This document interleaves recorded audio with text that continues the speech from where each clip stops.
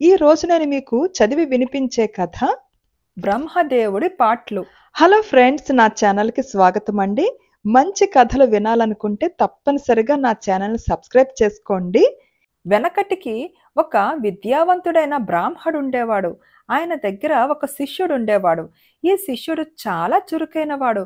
గురువు దగ్గర సకల విద్యలు నేర్చుకోవటమే కాక గురువుగారు తరచూ తీర్థయాత్రలకు వెళ్ళినప్పుడు వారి కుటుంబాన్ని కనిపెట్టుకుని ఉండేవాడు. ఇట్లా ఉండగా గురువుగారి భార్య గర్భిణిగా ఉండి ప్రసవం అవుతున్నది. ఇరుగు పొరుగు అమ్మలక్కలు పురుడు పోస్తున్నారు. శిష్యుడు పురుటగది బయట కూర్చున్నాడు. ఇంతలో అక్కడికి బ్రహ్మదేవుడు వచ్చి పురిటి గదిలోకి వెళ్ళబోయినాడు. ఎవరికీ కనిపించని బ్రహ్మను శిష్యుడు చూడగలిగాడు కానీ గుర్తించలేదు. ఎవరు నువ్వు? లోపలికి వెళ్ళటానికి వీల్లేదు. లోపల మా గురువుగారి భార్య ప్రసవిస్తోంది అన్నాడు శిష్యుడు. అందుకనే నేను లోపలికి వెళుతున్నాను. భూమి మీద పడకముందే నేను ఆ బిడ్డ నొసట వ్రాత రాయాలి. నేను బ్రహ్మను అన్నాడు బ్రహ్మ. ఏమని వ్రాస్తావు? చెబితే గాని లోపలికి పోనివ్వను. నువ్వు బ్రహ్మవైతే నాకెక్కువ లేదు అన్నాడు శిష్యుడు. నాకు నీతో మాట్లాడే వ్యవధి లేదు. అదీ కాక నా వ్రాత ఎవరికీ ముందుగా తెలియకూడదు అన్నాడు బ్రహ్మ.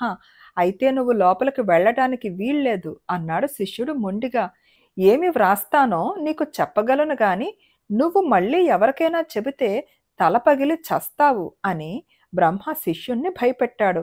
నాకదంతా తెలీదు. నువ్వు వ్రాసే వ్రాత ఏమిటో చెప్పి మరీ లోపలికి వెళ్ళు అన్నాడు శిష్యుడు. అయితే విను ఈ సంగతి ఎవరికన్నా చెప్పావా? నీ తల బ్రద్దలవుతుంది. మీ గురువుగారి భార్యకు మగపిల్లవాడు పుట్టబోతున్నాడు.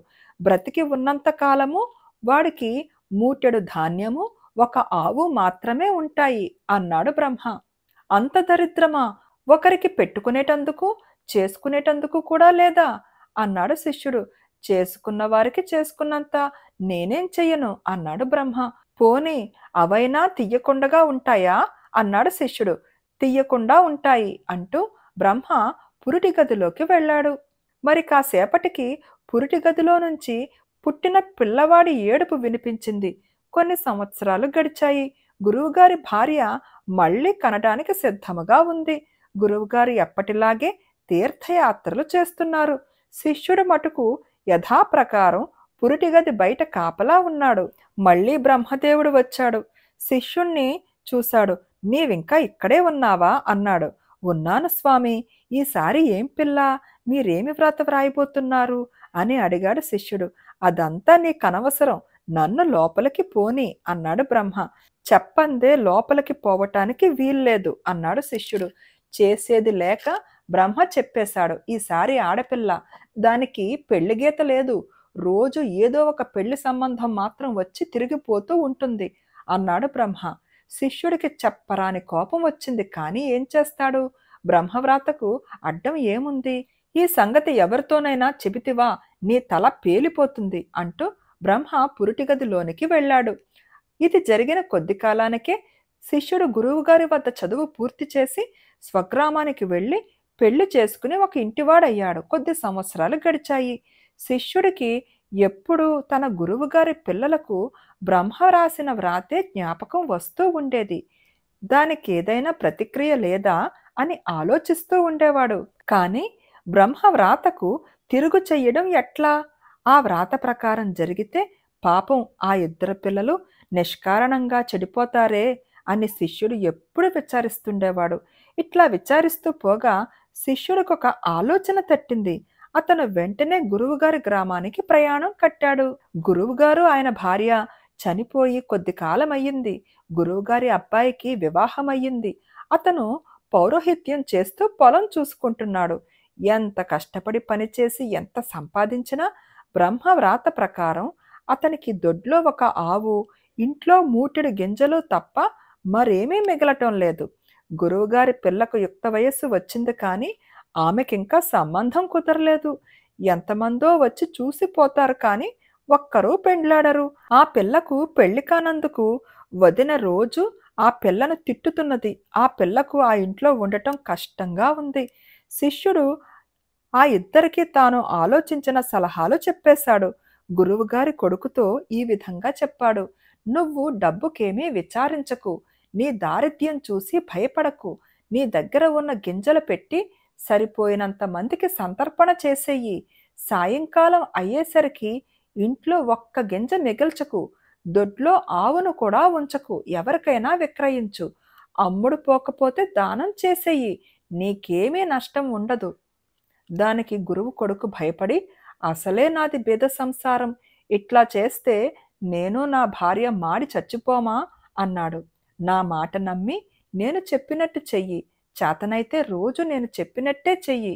నీకేమీ నష్టం కలగకుండా నేను చూస్తాను. కావలిస్తే నేను నీ ఇంట్లో కొంతకాలం ఉండి నా మాట రుజువు చేస్తాను అన్నాడు శిష్యుడు. శిష్యుడి మాట నమ్మి ఆ రోజుకు కావలసిన గింజలు మాత్రం ఉంచుకుని మిగతావి వండించి గురువు కొడుకు నలుగురిని పిలిచి భోజనాలు పెట్టాడు. ఎన్నడూ పిల్లికి బెచ్చం వేసే స్థితిలో లేనివాడు సంతర్పణ చేస్తున్నాడంటే అందరికీ ఆశ్చర్యంగానే ఉంది. ఆ రోజు సాయంకాలం ఆవును బజారుకు పట్టుకెళ్ళి గురువుగారు అబ్బాయి దాన్ని అమ్మేసి ఆ డబ్బుతో తనకు భార్యకు కావలసిన వస్తువులన్నీ కొనుక్కున్నాడు. మర్నాటి మర్నాడు పొద్దుటికల్లా గురువుగారి కొడుక్కి కబురు వచ్చింది. ఆ ఊళ్ళో ఒక పెద్ద భాగ్యవంతుడు చచ్చిపోయాడు. ఆయనకు చినకర్మ చెయ్యాలట. గురువుగారి కొడుకు వెళ్ళాడు. ఆయనకి ఒక మూట బియ్యము ఒక గోవు దానము దొరికింది. ఆ సాయంత్రం అతను బియ్యం పంచిపెట్టి ఆవును అమ్మివేశాడు. మర్నాటి ఉదయానికి ఇంకొక కబురు. ఒక ముసలమ్మ చచ్చిపోయిందని. వాళ్ళు కూడా గురువుగారు అబ్బాయికి ఒక మూటెడు బియ్యము గోదానము ఇచ్చారు. ఇలా చావులతో కొన్నాళ్ళు గడిచింది. ఆ తర్వాత ఒక రోజున ఎవరూ చావలేదు. కానీ మధ్యాహ్నం అయ్యే వరకు దొడ్లో ఒక ఆవును కట్టేసి ఉంది. ఇంట్లో ఒక బియ్యం మూట ఉంది. గురువుగారి అబ్బాయికి ఆ నాటి నుంచి ఇల్లు కదలకుండానే బియ్యపు మూట ఆవు దొరుకుతున్నాయి.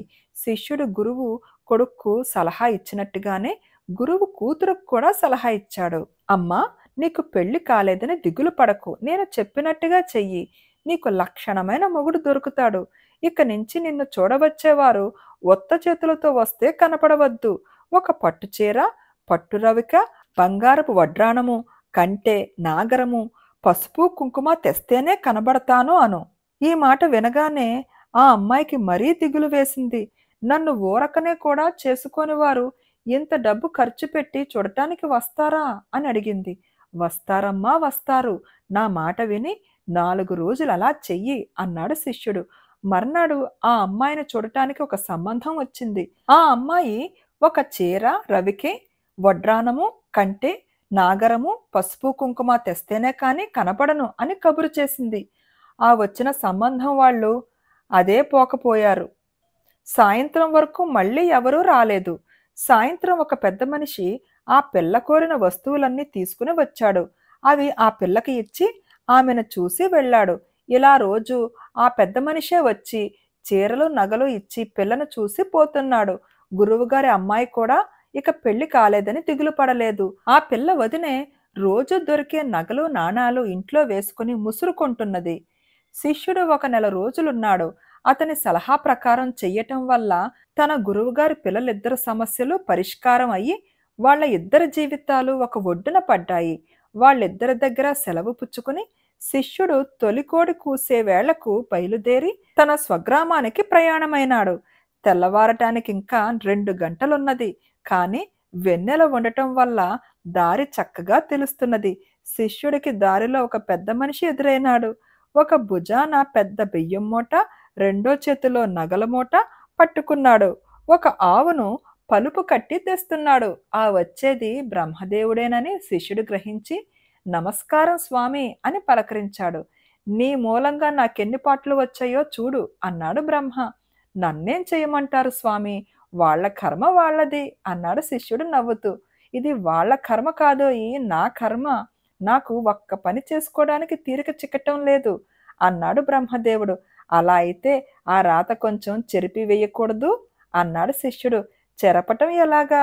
కానీ కొంచెం దిద్ది నా కర్మ వదిలించుకుంటాను అంటూ బ్రహ్మదేవుడు వెళ్ళిపోయాడు. ఆనాటి నుంచి గురువుగారి అబ్బాయి పట్టిందల్లా బంగారం అయ్యింది గురువుగారి అమ్మాయికి మంచి మొగుడు దొరికాడు. ఫ్రెండ్స్ చూసారా? శిష్యుడు తన తెలివితేటలతో బ్రహ్మరాతనే మార్చివేయగలిగాడు. నచ్చిందా ఈ కథ? నా కథ నచ్చితే తప్పకుండా లైక్ చేయండి షేర్ చేయండి. అండ్ సబ్స్క్రైబ్ చేసుకోవడం మర్చిపోకండి. Thank you